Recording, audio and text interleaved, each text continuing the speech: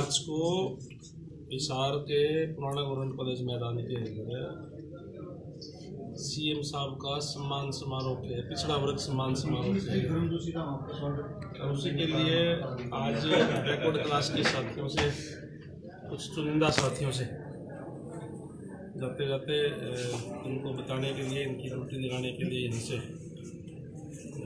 इनसे मिलने के लिए, इनको निमंत्रण देने के लिए आज आया था। खासकर जब से आदरणीय मनोहर लाल जी के नेतृत्व में भारतीय जनता पार्टी की सरकार बनी है, तब से विशेष रूप से जो मोस्ट बैकवर्ड है, जिसके अंदर कोई राजनीतिक लोग ज़्यादा नहीं है और ना ही कोई राजनीतिक रिजर्वेशन है। और, खासकर जो नौकरियों के अंदर जो उन्होंने पारदर्शिता लाने का काम किया है, जिससे जो मोस्ट बैकवर्ड है, वो अपने आप को गौरवान्वित महसूस करता है। और साथ ही मोस्ट बैकवर्ड में संविधान के 26 नवंबर को संविधान दिवस के ऊपर उन्होंने जो डिप्टी स्पीकर के पद पर सरकार में शामिल करके पूरे बैकवर्ड समाज को सम्मानित करने का काम किया। इसके लिए भी उनसे उनको सम्मानित करने का काम करेंगे वहीं जो बैकवर्ड समाज की जो मांग है,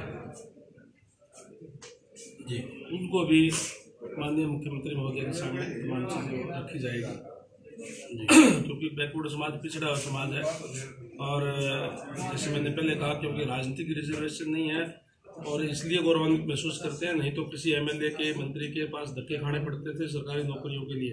उन्होंने मेरिट के आधार पर नौकरी देने का काम किया जिससे आज किसी के एमएलए या एमपी या कोई मंत्री के पास जाना नहीं पड़ता और योग्यता के आधार पर नौकरियाँ मिलती है। अभी जो चाहे वो पीछे एच की भर्ती हुई तो भी जितना कोटा बनता था उससे भी ज़्यादा बैकवर्ड और खासकर मोस्ट बैकवर्ड समाज के लोग उसमें लगे क्योंकि अपने योग्य उम्मीदवार तो है, लेकिन जो पिछले की सरकारें थी, उसके अंदर ये कह करके कि इस कैटेगरी के अंदर योग्य उम्मीदवार नहीं पाए गए और वो बैकलॉग छोड़ दिया जाता था।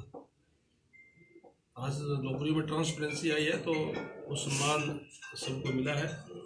वहीं जो तमाम चीज़ें जो समाज की जो दिखते हैं वो भी उनके सामने रखेंगे। मुख्यमंत्री महोदय का सम्मान करने का काम पंद्रह मार्च को करेंगे। अब वर्तमान में जो है ये चल रहा है। इसमें कितने बैकवर्ड है एमएलए? सरकार में।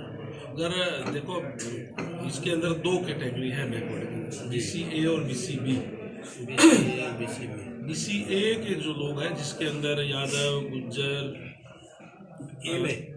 B C B B B में। यादव गुजर यादव है गुज्जर है और सैनी है मेव लोधी ये पाँच जातियाँ हैं। ये ये लोग तो फिर भी संपन्न संपन्न है और इनके तो हीरो के जैसे हीरो का दबदबा है और है बढ़ जाते हैं।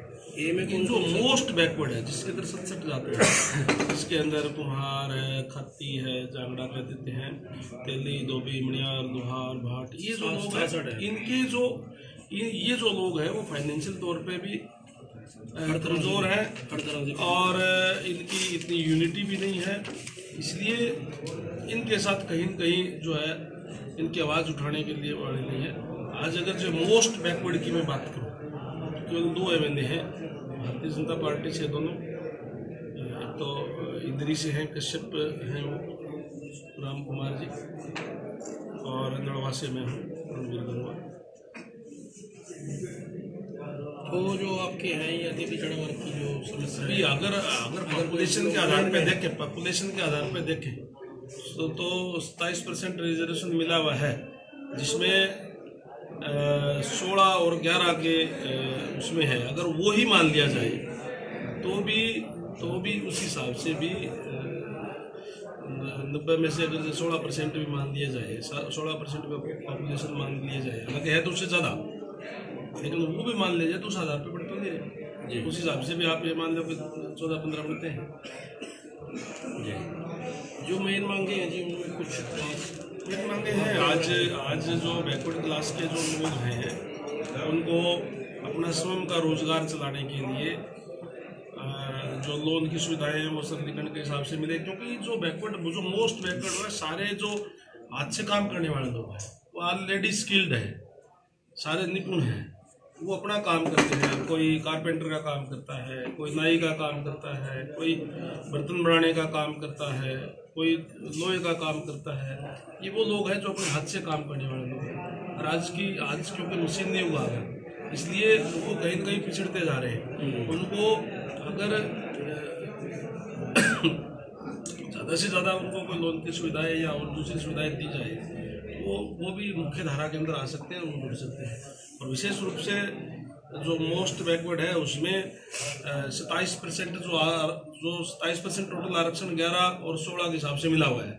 क्लास थ्री और फोर क्लास नौकरियों के अंदर तो है लेकिन जहाँ गजटेड पोस्ट है उसके अंदर केवल दस परसेंट जो मिला हुआ है। इसलिए जो सोलह और ग्यारह के रेशो के अंदर उसके अंदर भी दिया जाए ताकि जो उनका उनका हक है उनका राइट बनता है। उनसे कोई उनसे यूँ तो है नहीं कोई वो कोई किसी का हक मांग रहे वो तो केवल जो हमारा हक है वो हमें मिल जाए और उसका जो हमारा राइट मिलता है।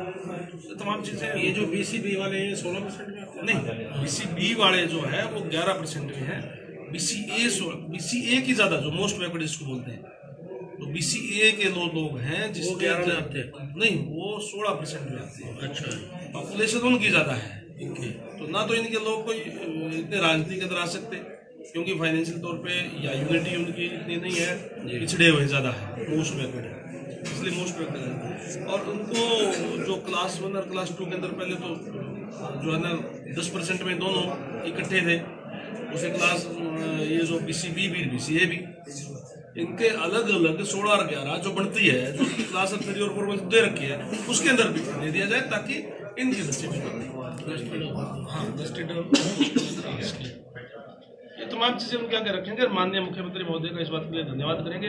जो पारदर्शिता के आधार पर नौकरियाँ देने का काम किया सरकार के अंदर जो शामिल नुमाइंदा करने का काम किया उसके लिए भी तो मुख्यमंत्री ये जो सम्मेलन हो रहा है आपके नेतृत्व में ही हो रहा है? तमाम जो समाज के लोगों का फैसला था समाज के लोगों का जो फैसला था कि हम मुख्यमंत्री महोदय का सम्मान करना चाहते हैं उन्होंने मेरे को आकर के मिले और उन्होंने कहा कि आप आपको जो सरकार के अंदर शामिल किया है अगर आप हमारे जहाँ हमारे आवाज़ उठाने का काम करें वहीं सीएम का सम- सम्मान समारोह भी करने का काम करें। जी। तो मुझे लगता है कि उस दिन पच्चीस से तीस हज़ार लोग उसके अंदर जा करके तो एक अच्छा बड़ा फ़ंक्शन करके और सीएम का सम्मान करने का काम करेंगे। नमस्कार